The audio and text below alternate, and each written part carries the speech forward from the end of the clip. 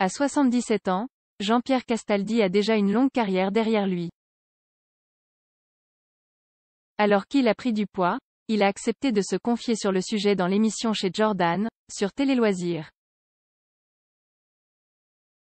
Lundi 6 juin 2022, le comédien a d'abord confié, la seule tristesse que j'aille au cinéma, c'est ce que Claude Berry m'a proposé un rôle, que je n'aille pas pu tourner. En toute transparence, le père de Benjamin Castaldi a expliqué, c'était le Berrurier, parce que Gérard Depardieu avait été opéré, du cœur, NDLR, il avait énormément maigri donc il ne pouvait plus jouer Berrurier.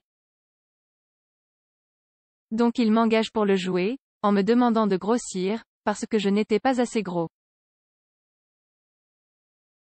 Et c'est depuis ce temps-là que je me trimballe des problèmes de poids. Parce que j'ai pris presque 29 kilos pour faire le rôle. Au cours des dernières années, Jean-Pierre Castaldi a eu du mal à se débarrasser de ses kilos. Jen est reperdu 20, mais c'est depuis ce temps-là que je me balade avec 10 ou 15 kilos de trop. Là, c'est un petit peu mieux, mais ça dépend des périodes, a-t-il indiqué. Avec humour, c'est en évoquant Astérix et Obélix contre César que le comédien a glissé. Astérix est un merveilleux cadeau de Claude Zidi. Il mène avait parlé deux ans avant. Il m'avait dit. Ne t'énerve pas, tu ne joueras pas Obélix, ça sera Caius Bonus, mais Jay était engagé très tard parce que, pour des raisons coproduction, mon rôle avait été convoité par d'autres. Mais Claude Zidi n'a pas lâché. Je ne le remercierai jamais assez. Il était très fier de moi dans le film. Les confidences caches de Jean-Pierre Castaldi sur Fort Boyard face à Jordan Deluxe, l'ancien animateur est également revenu sur son départ mouvementé de Fort Boyard en 2002.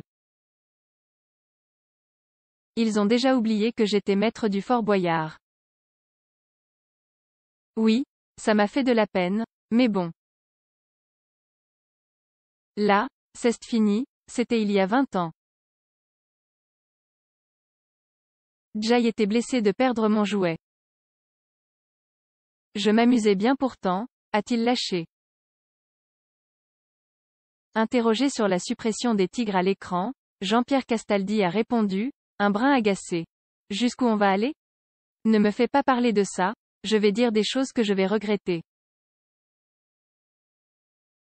Je vais avoir des procès au cul, on est dans une société où on ne peut plus dire ce qu'on pense. Quan ne veuille pas des animaux en cage, je veux bien, mais bon. On va fermer les zoos alors. Un animal est fait pour vivre dans la nature, un tigre n'est pas fait pour vivre en Europe, mais dans les steppes, donc voilà.